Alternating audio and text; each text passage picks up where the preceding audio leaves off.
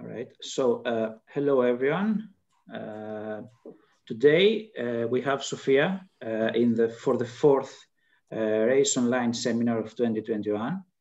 Uh, she will present us personalized machine learning. Sophia, you're good to go. Thank you, Yorgos. Um, as you may know by now, I am Sophia. I'm working at AUTH along with Professor Athena Vakali. Today I'm going to talk about how one size does not fit all. And in other words, I'm going to talk about personalized machine learning. Okay, so you might be wondering, okay, machine learning is supposed to be personalized by default. So what is this personalized machine learning? That's why I would like to start with a story. Uh, before telling you more about personalized machine learning, I wanted to tell you a story about a paper I read about a month ago that brought my attention to the domain. In this paper, Rudovic and his colleagues explored the potential of robot-assisted autism therapy. He partnered with autism experts in Serbia and Japan and explored whether incorporating a robot into the therapy sessions of autistic children could enhance their engagement levels to the therapy. During the session, he collected visual and audio data through the robot, as well as physiological data from a wearable device that the child was wearing.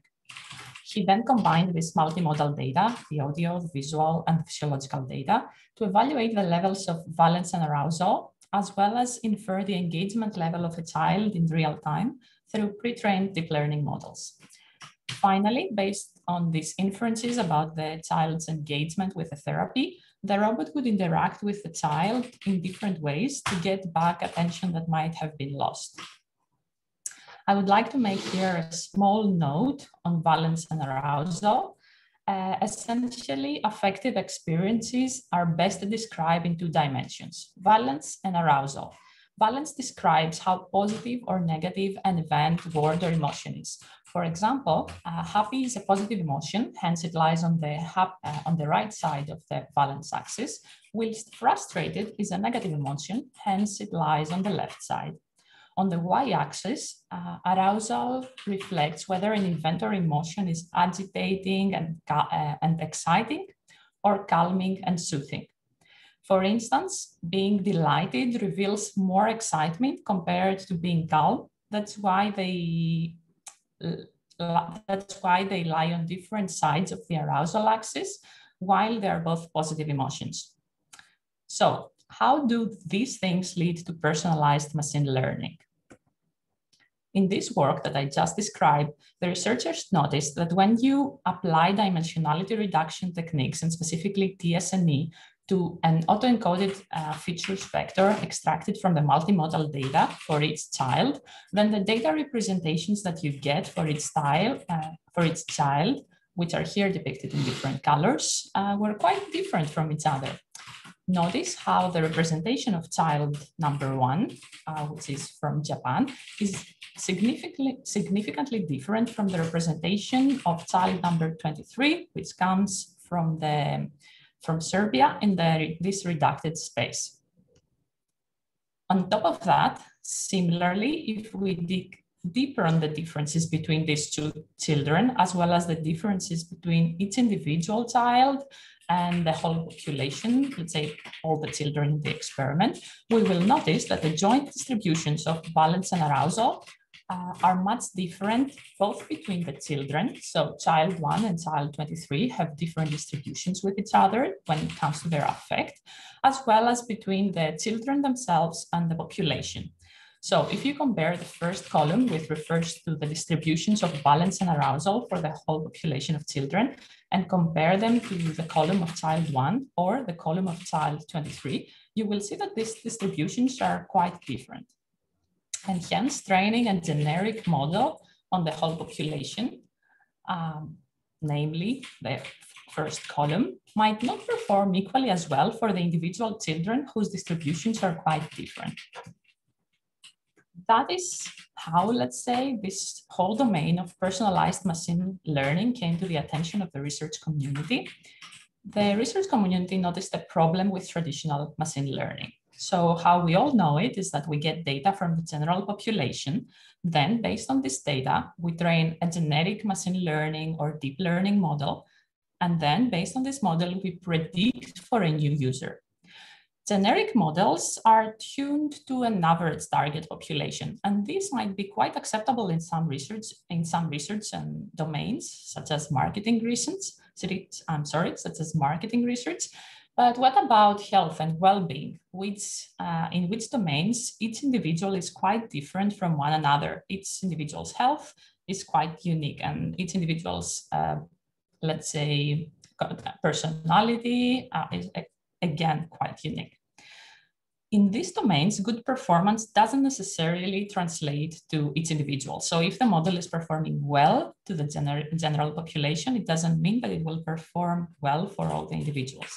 But is this acceptable when it comes to domains such as health? That is uh, where personalized machine learning comes in. Essentially, what is personalized machine learning? Personalized machine learning is when you get the data from new user, from a new user, and you try to train the mod a personalized machine learning or deep learning model based on this data in order to predict um, maybe physical activity or the mood or the health condition for the same user. Here, a question that pops into mind is, okay, what about a new user? You don't have data for a new user to train a whole deep learning model.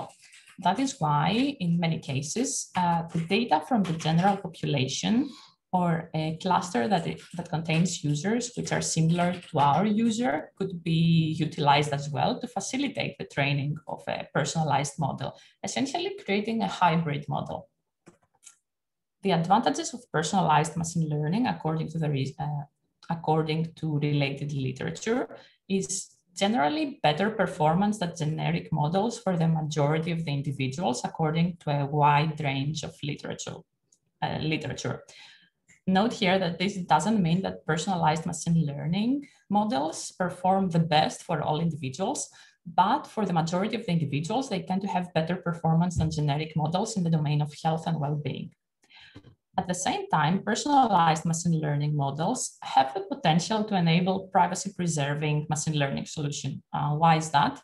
While this is not my domain, it comes quite natural to think that if you have a model trained on a single person's data, then you, which can also be trained on device, then you do not need to transfer data potentially to different servers uh, outside of the country, or let's say share data between different users in order to train different machine learning models. At the same time, it has the potential to decrease bias in machine learning models for minority populations. You might have heard many times about how machine learning models can be biased again, biased against, against certain populations, for example, uh, African Americans.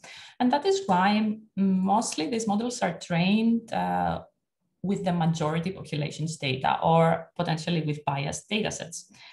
However, if you train the model with a single user's data, then potentially it has the ability to overcome this bias because this model is exactly targeted to the specific user. For all the reasons above, this topic is a novel active research topic with topic with uh, growing interest from the scientific community, uh, both from major institutions, for example, the MIT Media Lab, is actively working on it, as well as companies such as Empatica Wearables, which utilize personalized machine learning models in their devices. Now, before we dig deeper into the literature of personalized machine learning, I want to briefly mention some concepts that will come in handy during the presentation. Of course, this is just a brief introduction and, by, and this is by no means a complete overview of the concept. Firstly, deep learning is not surprisingly state of the art in the personalized machine learning literature in the health and well-being domain.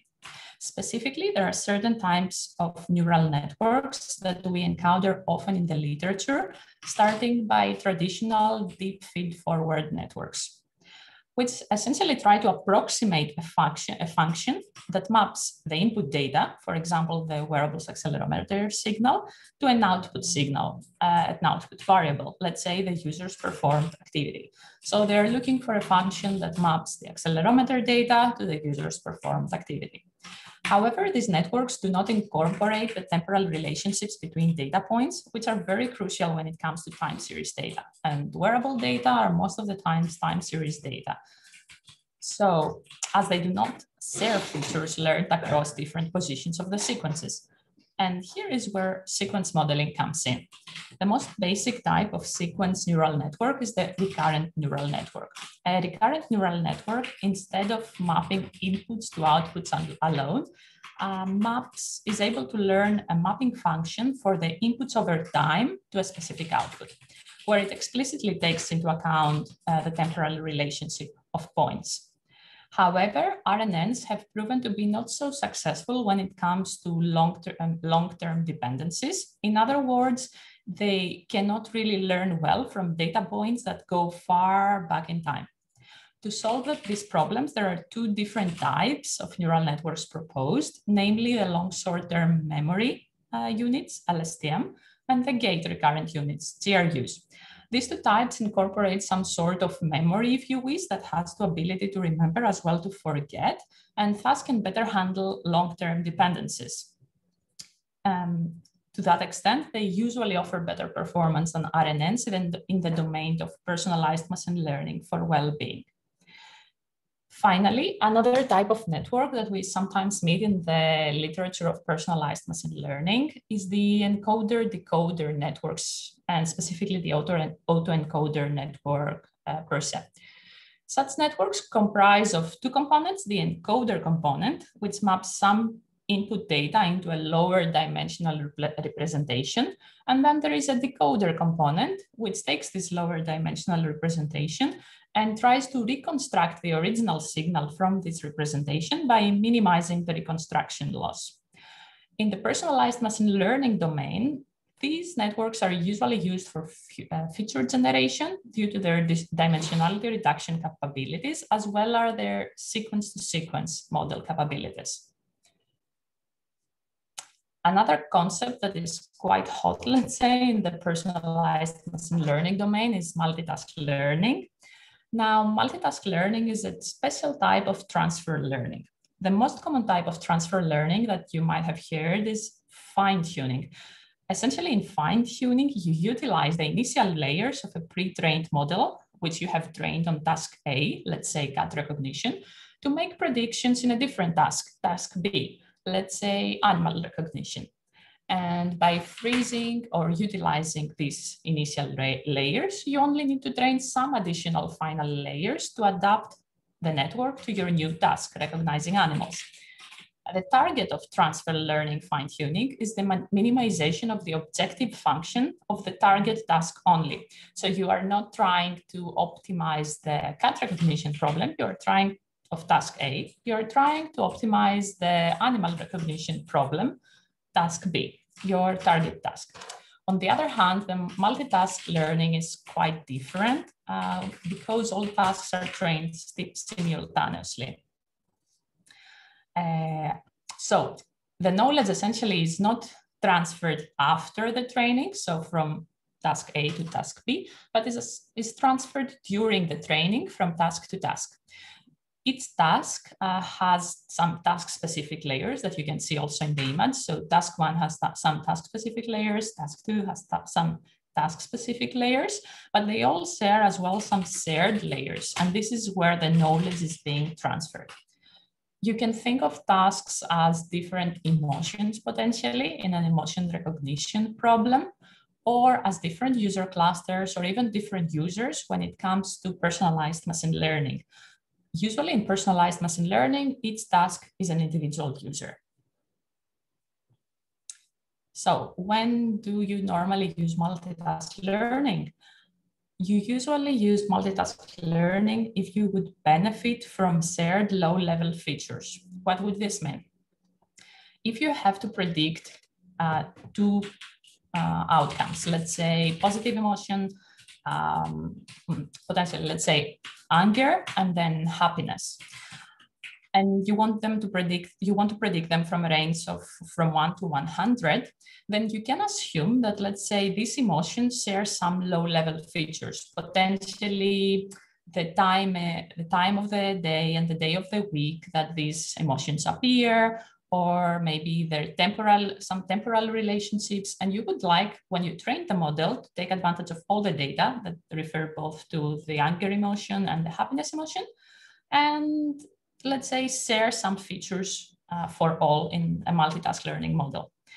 At the same time, you can use multitask learning if you have similar amounts of data for each task. Normally in transfer learning and fine tuning, you have a lot of data for task, the source task, task A, let's say cat recognition, and you have relatively few data for the second task. That is why in fine tuning, you utilize a pre-trained model from the source task in order to, let's say, ad adapt it to the new task. However, in multitask learning, this is different because normally the amounts of data you have for each task are quite similar. So the amounts of data you have on each individual person are quite similar in a multitask learning model. Uh, at the same time, you use a multitask learning model if you can train a big enough neural network to do well on all tasks. So if, as, like with generally with deep learning problems, if you don't have enough of data to train a big enough neural network, then you don't really bother to use deep learning.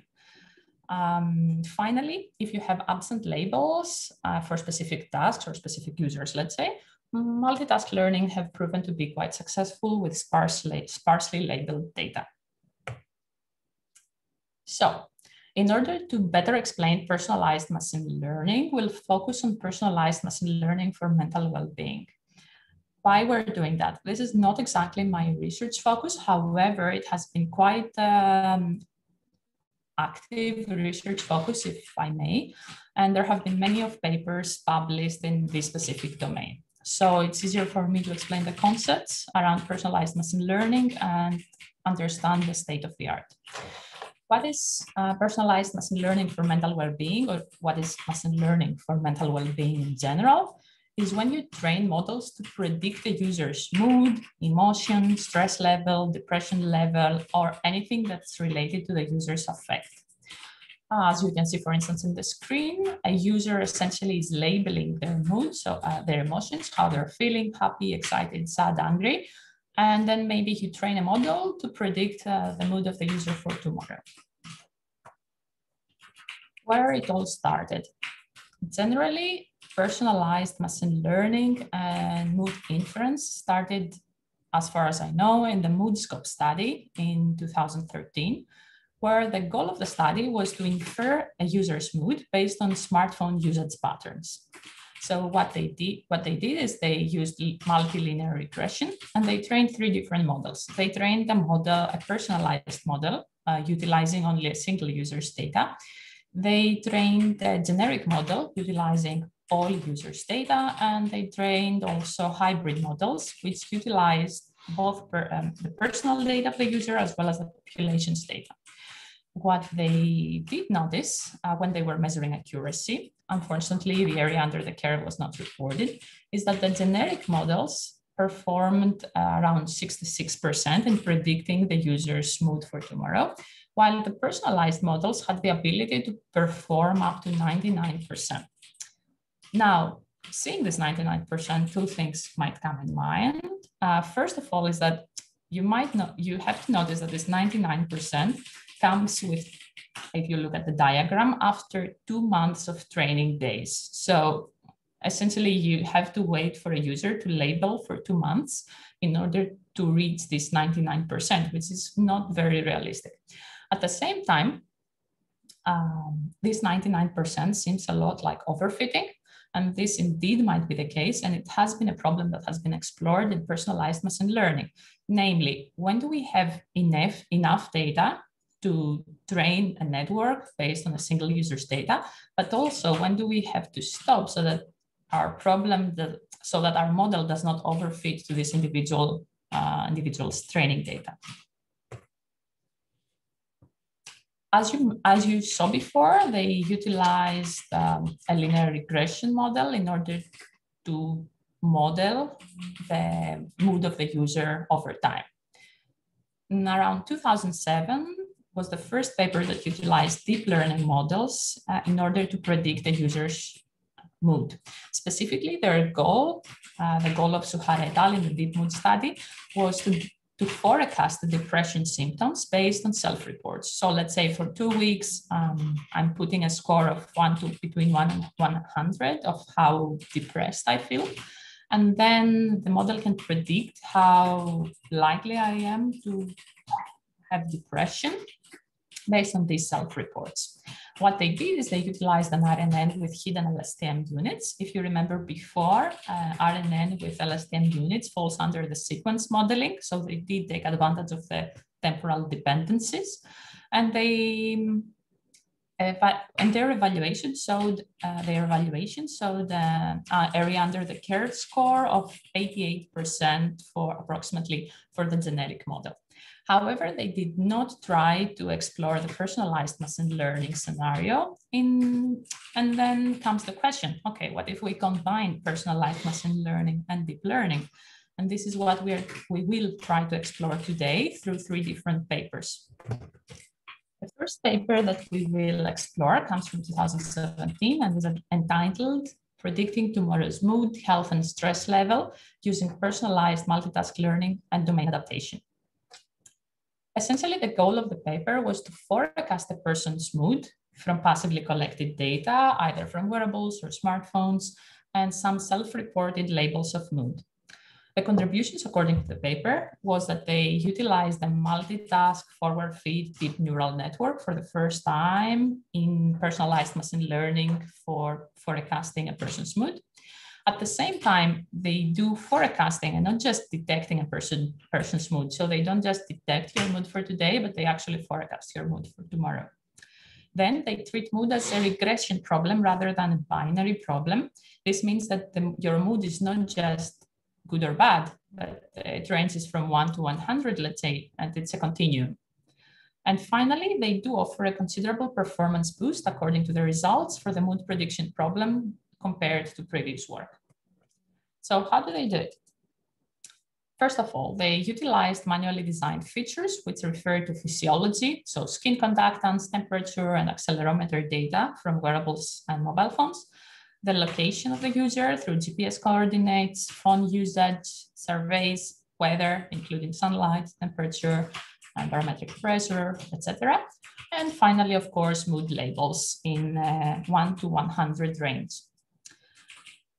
they utilized a multitask, a multitask neural network in order to predict the mood. And each task was defined as an individual person. As you can see, the green task, let's say, refers to person A, the blue task refers to person B, and the gray task refers to person C.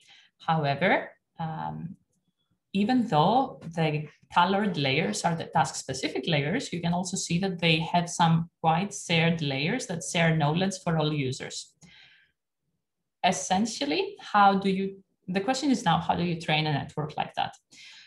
In order to train a network for a personalized machine learning uh, problem, where each task refers to a single person, then you have to use a mini batch in the training process, in the training iteration, which consists of a single person's data. So think of it as in the first iteration, you take the green person's data and you feed them, you feed them into the model. This data will not only affect the green person, but they will also affect the blue and gray person through the shared layers. And the er because the errors are essentially backpropagated to up update both the shared and the task-specific layers weights. In that way, they manage to utilize both the populations and the individual person's data in a single prediction task. So according to the results, if you compare the personalized machine learning model that they, this multitask neural network that they developed with a, with a traditional neural network, you provide a statistically significant better performance when it comes to mean absolute error, MAE, for all target labels. Here, the target labels were mood, stress, and health. And as you can see in the last row, all numbers are bold, which means from the paper that they had a p-value lower than 0.05, which essentially shows a statistically significant result, performance result over the traditional neural network, which is the second line. However, this paper had some considerable limitations. First of all, first of all, it suffered from the cold start problem. If you had a new user let's say a red user, there is no way to incorporate this new user into this already trained multitask neural network, because that would mean you need to add a new task. And in order to add a new task, you would need to retrain the network. However, what they did suggest is that you could potentially feed the new user's data through all the outputs, let's say for all users, and then average the results for all users. So let's say feed the red users data um, into the from here, here, and here, and then average the result. And this performance, let's say, would be somehow similar to the generic model's performance. Uh, however, this was not tested. Uh, nevertheless, this paper suffered from the cold start problem. At the same time, they had a relatively small data sample of 69 users, high label requirements. They needed at least 15 days of data, labeled data in order to train a personalized model.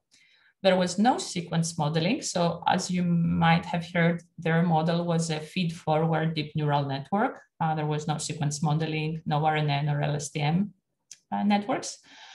And then there was uh, manual feature design. There was no short, um, no, there was no automated feature engineering explored which might or might not improve performance. And finally, it had the ability to predict far into the future. It could only predict one day in advance. So what's your mood gonna be tomorrow? While it might useful, it might have been useful to predict what your mood gonna be in like 14 days. This leads us to the second paper of the same year, which is kind of an extension to the first one, if I may. Uh, it's entitled Personalized Multitask Learning for Predicting Tomorrow's Mood, Health, and Stress. Essentially, it comes from the same research group and that you will notice quite soon. The goal is again to forecast a person's mood from passively collected data and self-reported labels. And the contributions are quite similar to the previous one, but here there is a difference. They do try to handle the cold start problem by utilizing user clustering so essentially, if you can uh, put your user, your new user into a cluster, you need zero labels in order to incorporate new users into your model. We will see later how they do the user clustering, uh, what do they mean by it, but the contribution they give by that is that you essentially don't need any mood labels for the new users. And then in, indeed, they do forecast instead of detection, forecasting instead of detection, and they provide against, again, a performance boost compared to the traditional approaches, which we will go over later. The features like, are identical to the previous uh, research because they come from the same data set. Uh, but here a task is defined differently. Instead of a task being a single user, a task is a group of users, a cluster of users based on their personality. So let's say the green cluster might be introverts, the blue cluster might be extroverts, and the gray cluster might be easily agitated users. That's quite random right now. And um, in this case, when you train it, when you train this network in a training iteration, you don't use a mini batch consisting only of a single user's data, but you can utilize inside a mini batch a single cluster's data.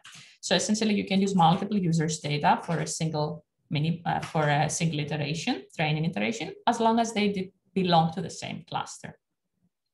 The errors are again back propagated to update both the shared and task-specific cluster-specific layers weights. Here, the personalized multitask learning neural network provided an area under the curve, the ROC curve performance of 78% for mood prediction compared to a 65% for a generic neural network. If you remember from previously, a generic, let's say, neural network for mood prediction would give a performance of uh, 66%. Uh, however, this paper also has some limitations. While they claim to have solved the cold start problem, again, the users need to complete a survey, a personality questionnaire, personality scale, in order to be assigned into a cluster. However, this is not extremely realistic because in a commercial system, you don't normally ask your users to complete a 20 item scale before they log in. And then the target variable, the mood, for instance, is uh, defined as a binary, so positive and negative, and not as a regression problem, as a range. Um, and on top of that, they do a removal of the most ambiguous users. So for these users that um, report an ambiguous mood, like around, the, let's say from a scale to 1 to 100, they report a mood of 50 or 60, so they're not so sure. They don't really utilize those users or those labels because they do not know if they should be assigned to positive mood or negative mood. So they remove approximately 20% of the ambiguous labels. They, according to them, normally this is uh, done in research and they do remove even 40% of the ambiguous labels. So 20% is an improvement, but still in removing 20% of the most difficult users to predict. I'm not so sure, I'm not exactly sure, um, let's say how worse your performance would be if you actually incorporated those users. Again, they have a relatively small data sample. Uh, they don't use sequence modeling um, or automated feature engineering, and they have an inability to predict far into the future. They only predict one day in advance. So these limitations that we discussed from the first two papers of personalized machine learning um, brings us to the third paper that we'll briefly see today. And this is a sequence multitask learning to forecast mental well-being from sparse self-reporting data. This paper does not, exact, does not exactly do personalized machine learning. It develops generic models, but it does utilize sequence modeling, and that is why I would like to see an alternative to the classic deep neural networks, feed-forward neural networks, and see how well it performs. The goal of this paper was to forecast a person's future sequences of mood, so not just one day in advance, um, but uh, multiple days in advance from passively collected data, uh, coming from wearables, as well as sparse self-reported labels of mood. The contributions of the paper is that it predicts multiple steps ahead, not just the next day, but potentially the next week. It does utilize multitask learning, but notice here that each task is not a single user, so it's not personalized machine learning. Each task is a different dimension of mood, namely valence or arousal. It does utilize sequence modeling through LSTM units, as well as automated feature extraction through sequence to sequence uh, encoder decoder models. And it does offer a performance boost over the single task alternative, as well as traditional ML approaches without utilizing deep learning. I'm sorry. Um, so let's see how they do it.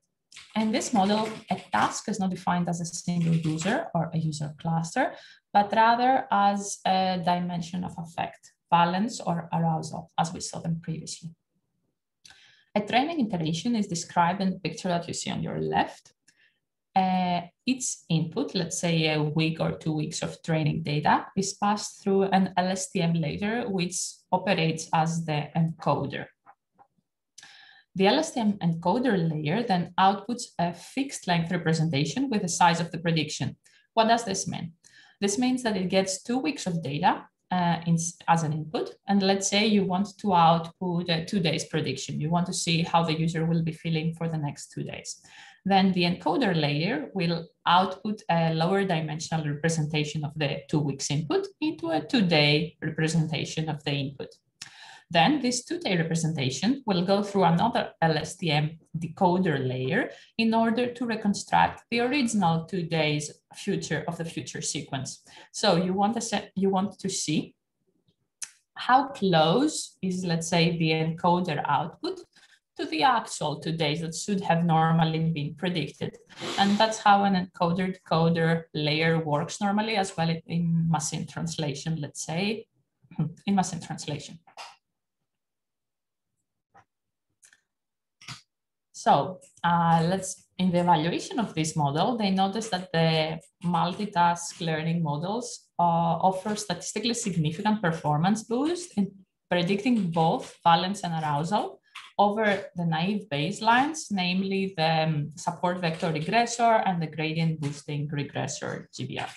Um, essentially, if you trained, let's say, one model to predict arousal and one model to predict valence, this model, the multitask learning model, uh, that predicts both at the same time, had a statistically significant performance boost compared to the single task alternatives. At the same time, they noticed that three weeks of data offer the most uh, of sparsely labeled data offer the best performance, while uh, the error increases the more days in the future we are trying to predict. So if you want to predict one day ahead, the error is quite low. If you want to predict one week ahead, the error increases. The limitations of this work, as far as I'm concerned, is that there's a lack of the exploration of the personalization benef uh, benefits. So if you utilize personalized machine learning, would you get any extra benefit? So it's potentially more like a future work direction. And then there is a lack of good baselines. They do not really offer comparisons with previous works, let's say previous work that utilized personalized machine learning, they, off, they only offer comparison with traditional machine learning approaches, such as the support vector regressor and the gradient boosting regressor. And at the same time, uh, they do have increased label requirements, given that the best results were achieved after three weeks of labeled data. Now, um, given this brief overview of these three papers that are, I would say, quite similar to the state of the art right now, they represent quite well the state of the art. I drafted a list of potential future directions that I see personalized machine learning is going. Uh, personalized machine learning um, has been explored quite intensely with feed-forward deep neural networks, but we still haven't seen any sequence modeling when it comes to it. So could some sequence modeling offer a performance boost compared to the traditional deep learning alternative alternatives? Then there is there has been no exploration when it comes to personalized machine learning and whether or not it can, let's say, fight algorithmic bias. Can we do better prediction for minority population utilizing personalized machine learning, or is it just a wrong assumption? Does it does it incorporate the same amount of bias? Naturally, you would think that it could indeed be a solution to algorithmic bias. Um, then there is like um, potential in the privacy preserving personalized machine learning. For people working on privacy, I do believe that personalized machine learning could offer some opportunities to offer like privacy preserving solutions. Then uh, there is the cold start problem, uh, especially when it comes to multitask learning. So it would be interesting to in to research ways on how you could find the fight the cold start problem in multitask learning uh, problems. Then, because we're working with deep learning again most of the times, and not surprisingly, it's a state of the art in personalized machine learning you have the issue of interpretability, especially in the domain of health and well-being. If you are going to make a prediction of someone's health, you really need it to be interpret interpretable. You cannot really give a black box. And that leads me to the next point, which is quantifying uncertainty. At uh, Vangjus and Deba have been talking about it in, uh, like I think in their presentations uh, which I think goes quite well, especially in the domain of uh, health, health and well-being. And then it would be quite interesting to actually explore different subdomains within the health and well-being domain. Uh, you've noticed I talked only about, about mood prediction, and that's why that's because the focus of personalized machine, machine learning research has been on mood prediction. However, there are topics such as uh, sleep stages detection, activity, activity, activity prediction, activity recognition, or physical activity prediction and forecasting that uh, have not been explored yet. And finally, even though we are talking about a model that's by default personalized and refers to a single person's behavior, um, a single person's behavior is not static, it's dynamic, it can change over time. So it's quite interesting to explore the junction, uh, the junction between the person, between personalized machine learning and concept drift adaptation. Concept drift is essentially what I described before, the change in an individual's behavior or distribution of the data, uh, which could be learned to utilize online learning approaches. Finally, I would like to close this presentation uh, by saying that in the domain of health and well-being, personalized machine learning can offer a significant performance boost according to various uh, papers and various studies. Deep neural networks are currently the state of the art in personalized machine learning, but um, we need more exploration in terms of sequence modeling and interpretability. Multitask learning and transfer learning have been indeed proposed as a solution to the cold start problem for new users. But as you see, there is still room for improvement when it comes to the cold start problem.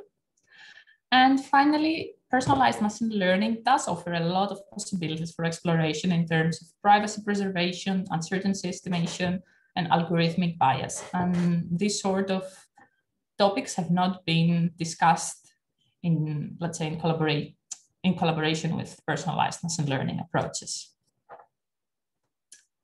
This is the literature I utilized for my presentation, our beneficiaries and partners for the RAIS consortium, and thank you for your attention. Thank you very much, Sophia. It was a very interesting presentation. Uh, do we have any questions from the participants? I have a question. Uh, thanks a lot, Sophia. Very nice presentation. Uh, uh, I wanted to ask about the, the data self used in this personalized machine learning, because when you use, uh, when you have to collect a lot of uh, personal data, you'll make sure that you have a lot of variability there. But uh, what do you do with the bias present in the personal data? is there any way around that? Um, so far, as far as I've seen in the papers, I haven't really seen any approach that explores whether or not bias plays a role in the in the person like bias in personal data plays a role in the performance of personalized machine learning models. It could be potential future work direction. So far, I haven't seen anything related to it, and it might be a very interesting point that you're raising that is worth attention. Okay, yeah, because uh, when I was thinking is that uh, when you have like uh, not personalized but generic uh, machine learning, is that the bias itself is suppressed by introducing a lot of different individuals. But when you restrict yourself to, to like a, a bit more narrow domain, then there is some bias probably that persists throughout the data set that has to be like Okay, now that I better understand the question actually, and I think a little bit more, in, in multiple papers, okay, apart from the fact that they do mention overfitting as a problem of um, personalized machine learning models, they do mention that they somehow managed to handle bias uh, through heavy regularization of the models. Uh, to regularization, dropout layers, etc. But they do not specifically mention let's say, if these methods are effective in fighting bias in these models, or they assume, let's say, that by utilizing regularization methods, that the bias is somehow suppressed. But uh, that's the most I've seen, I think, in the papers. Okay, but uh, I'm sorry, just to understand that, uh, is it like uh, they're trying to like uh, suppress the bias present in the method or in the data by having a regularization on, during the training process? I do believe in the, um, the bias in the model, but uh, mm. to be 100%, I don't 100% get the difference between the two right now. Okay, yeah, it's um, yeah, I'm intrigued now to know because uh, we can take this conversation mm-hmm. actually uh, uh, also outside the seminar. It's very sure. interesting. It would potentially lead to future work directions that I haven't thought of. Yeah, thanks. Thank you. Uh, uh, also, uh, I mean, I have a small comment about about Vanko's question. Have you thought, or have you seen anyone trying to handle this bias through adversarial training? So mm. you will have personalized, personalized still machine learning, but uh, I mean, if you explore the adversarial uh, based models, that might be interesting to be more resilient to the bias introduced by the uh, by, uh, by by by persons by local training. so far from the literature I've studied, which of course is not limited to these papers that I presented, I haven't seen any use of adversarial, adversarial models. So again, I really love all these questions because I'm also new to the domain, I'm learning about it. And that's why I wanted to present it to you because I'm pretty sure um, such a growing domain could pose, let's say, a lot of open question, future directions, etc. But so far, I haven't seen any adversarial networks being used. Uh, may I ask a question? Yes, of course, Thomas. Um, yeah, thank you. Uh, first of all, thank you for the presentation. It was very interesting. Uh, about uh, this uh, bias problem uh, that uh, Vanjush and Ahmed mentioned, I honestly don't, I'm not sure I completely understand it in a sense that I think that the goal of personalized machine learning is training on a single person. Whereas normally bias is a problem because you want your machine learning model to be general, like to represent, to be as generic as possible. But I fail to see like uh, how bias is a problem in a model that uh, is meant to fit uh, uh precisely one, uh, one user and not like other users. Um, I think that when Bantus was referring to bias, correct me if I'm wrong here, Bantus, uh, he was re not referring to the stereotypical bias that we have in mind. So not so much as the bias that is introduced by sexism or racism or this sort of bias, but more like algorithmic bias, like the various bias, variance bias problem of machine learning models. I, I think that even though they have the same name, they they are quite distinct, but you can encounter both in machine learning problems. But I do believe he was referring to that. I did answer for this at least. yeah, I mean, uh, what I was thinking out loud was the bias variance problem in personalized data that uh, maybe you don't have sufficient uh, variance when you collect the data set in a single individual to suppress the bias in the data. And as a result of that, uh, maybe some problem with uh, having good generalization problem when you are training because your data, even though you have a good model, there is not sufficient uh, sufficient uh, variance in the data to like uh, generalize even at a single individual. But that's something that uh, I'm not like entirely sure. I was just thinking out loud and has to I have to like give a bit more thoughts on that. And why I thought about is, this is because on non-personalized data set, uh, you make sure that uh, the bias is not there because uh, the individual are different. Namely, they are uh, IID dataset, and that's the assumption that you are making anytime that you are doing some uh, training data because uh, when you use, when you do shuffling of the data and there is no ordering and the ordering is totally random, and that means that uh, data coming from different individuals are independent from one another and as well, hopefully identically distributed. But when you have data set coming from a single individual, that assumption is not, I don't see it how we can hold. And in that sense, I have to give it a bit more thoughts on that. Yeah, yeah, yeah. Okay, now now I understood what uh, what the problem was about. Thank you very much. Yeah, thanks. Any more questions? Um, I also have a question. Uh, moving away from the interesting discussion on, on uh, bias and variance. So uh, you showed us uh, examples from the literature in which we are Instead of personalizing the entire model, we are keeping a part of the model fixed and personalizing some layers of the model towards certain users. And uh, what I was thinking, honestly, and I'm actually surprised to see this type of solution uh, compared to, an, to, to, another. So what I was thinking is, is there any literature that instead tries to have a single global uh, model but instead of passing just the input data as the input, you could try to pass two inputs to the model. One is your input data, and the other is a representation of the user.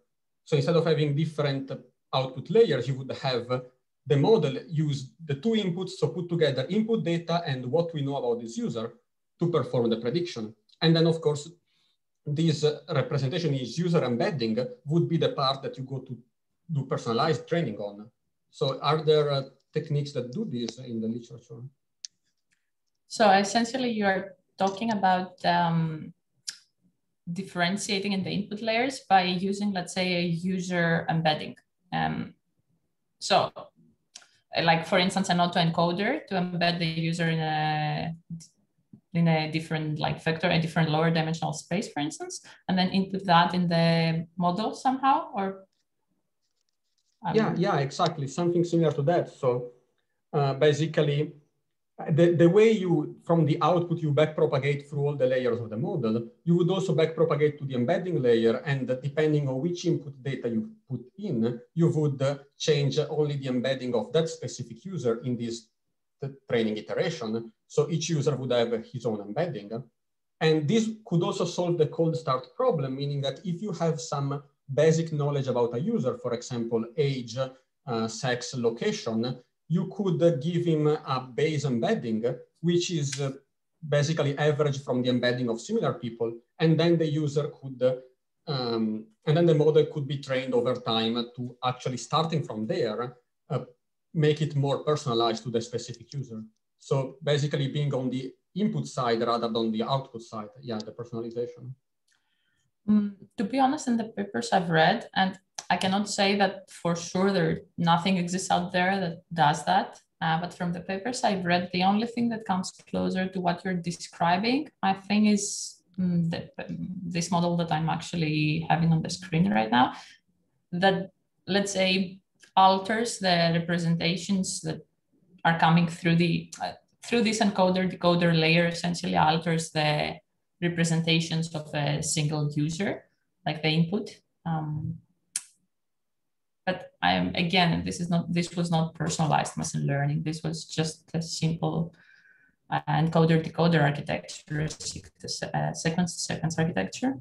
Mm, I haven't seen what you're describing. I think in personalized machine learning uh, model. Uh, again, that could be interesting. The thing is, this domain, of course, it has some papers surrounding uh, around it, but it first appeared, let's say, okay, not 2013, but that was pretty let's say basic. It started really as a um, having more scientific interest in 2017, 2018.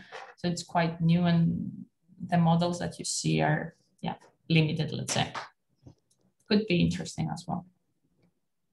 Uh, there, there might be some, let's say, low-hanging fruits uh, coming from other areas that have not been integrated yet into this specific uh, into this specific exactly. So that might be, yeah, very, very interesting. Thank you for the presentation, Sofia. Thank you, Ludovico. Uh, I also have a, a another comment uh, on uh, what Ludovico suggested.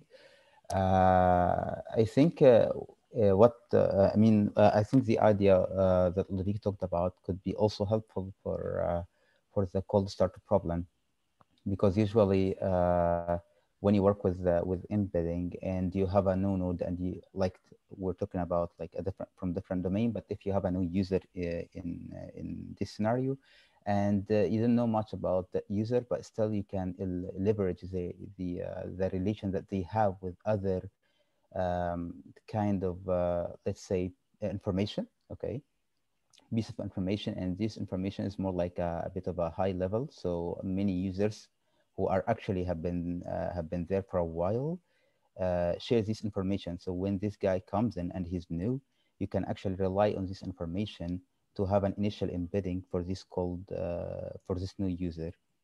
And then you, you are be able to start from a good place and you can have uh, in a shorter time uh, a personalized uh, a personalized prediction or like a personalized task for him. Uh, so uh, I think uh, if you can exploit the context around this user or any user like new users or old users, I think you may be able to general, generalize better over the cold start problem. That's quite, uh, that's a very interesting comment, Ahmed. Hmm, I think I would love to have a further discussion both with you and Ludovico on this aspect, the user embeddings and how they could be incorporated into personalized machine learning. Yeah, yeah, sure. I love uh, how guys you have so also different ideas about the expansion of this work. It's quite interesting. Uh, but it's, uh, yeah, sure. Uh, you actually give a really interesting presentation. Uh, but I also have one one last question uh, about this about the multitask about the multitask learning, uh, what uh, what are the problems or like the disadvantages that you see from rely from using this uh, multitask learning? Mm, let me first uh, clarify that I mostly worked or studied multitask learning in this domain. So potentially I can refer to problems of multitask learning in this domain, but potentially in a different domain, they had find solutions for um, these problems. For instance, um, let's say in multitask learning, as I've mentioned earlier, if you uh, have each user uh, defined, each task defined as a single user, then you have the issue that if a new user comes, you have to retrain the whole model in order to optimize, let's say, the objective of the multitask learning model for all tasks. So all users plus the new one. Um, so in this domain, at least, they haven't mentioned how you can add the new task in your network without the need to retrain the whole network. Now, I do not know if, let's say, in the multitask learning literature, if there are some uh, research approaches that uh, have tried to solve this problem to, let's say, add new tasks to the network online, so incrementally, somehow incremental multitask learning. Um, so at least in my domain, I haven't seen it. In different domains, it might be the case. Um, yeah, I think from the, let me think a little bit extra. Hmm, I haven't really noticed something else that would be drawback icon of multitask learning in this specific case, apart from the cold start problem. Hmm, yeah, I don't know if you had, have you had any thoughts about the shortcomings that you would like to discuss? Uh, uh, yeah, actually, actually, my uh, it's not uh, like thoughts because uh, my question I, I wasn't thinking much about uh, the cold start problem. Uh, it just uh, uh, I mean, uh, when you you introduce the multitask learning, I could only think that one of the drawbacks, or like uh, not drawbacks, but it's something I need to consider if I'm applying this kind of uh, of learning that the tasks are actually related, which is the case actually here. But if they are not related, then the backpropagation will be uh, kind of fuzzy in the shared layers and you will not learn much about the other tasks. Yes, I understand the question. Um, but, one of the assumptions that you, when you do use multitask learning, when you do make the assumption that there is some similarity between the tasks so that they could benefit from some shared low feature representation. However, the only case, um, when I was reading and studying about multitask learning, I've read that the only case that it could harm your performance is if you don't have enough of data to train it. So even if they don't really share a lot of low level features, it wouldn't harm so much the performance uh, according to the, let's say, sources that I read. Um, but it would just be as a generic uh, single task network. Um, now, I don't have the references of this uh, for this here, but I could maybe present you with a, the video, um, the course that I've done on multitask learning, uh, specifically in some video that discuss when to use it and which are the when not to use it. Maybe that would be interesting.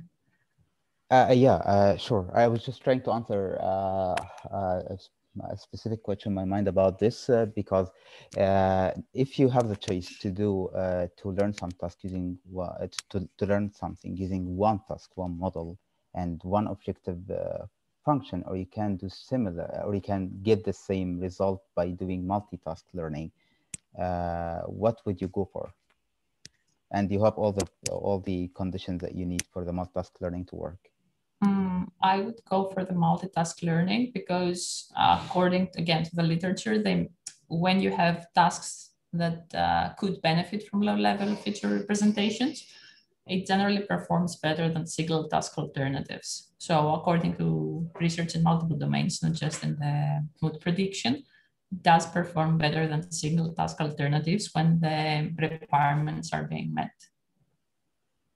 Mm -hmm. Okay, okay yeah uh, interesting answer actually. Uh, okay, thank you, Sophia, for uh, for the presentation. It was very very interesting. Glad we liked. So, do we have any more questions? Okay, I think not. Uh, so, uh, thank you very much, Sofia, for the presentation. And thank you everyone for participating in uh, this uh, fourth online seminar for 2021. Uh, see you again in three weeks.